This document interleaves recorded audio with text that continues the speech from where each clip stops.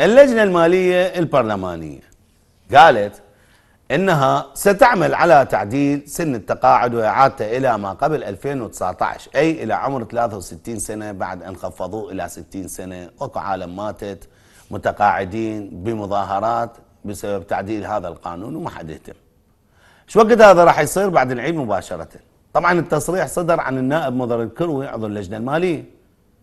أخوان ما تشوفون إنه معظم قرارات البرلمان المصيرية اللي تندرج في مكان كان يسمى إصلاحات أصبحت عرضة للنكوص والتنازل ومن البداية ومن البداية. بحيث البرلمان لم يأبه للاعتراضات على تعديل سن التقاعد ناهيك عن المطبات الكارثية بالتعديل الأخير اللي تسبب بظلم شرائح كبيرة وكثيرة من من متقاعدين ومتعاقدين وخبرات ومن الكفر الإداري التخلي عنها.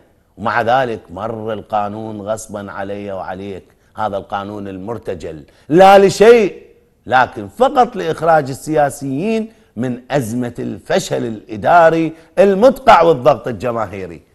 الموضوع صار ب 2019 تتذكرون.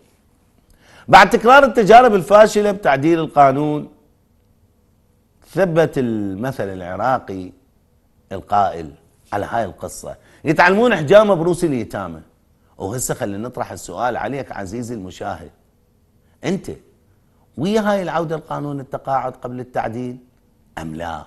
يعني أنت مع العودة إلى سن التقاعد إلى 63 لو لا؟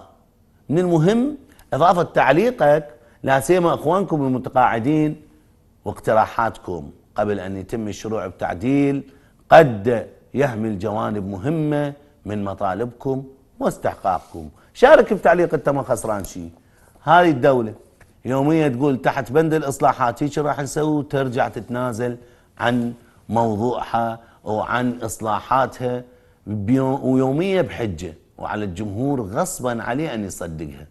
هيك يريد الملك. شو نسوي له؟ انتظرونا بعد الفاصل.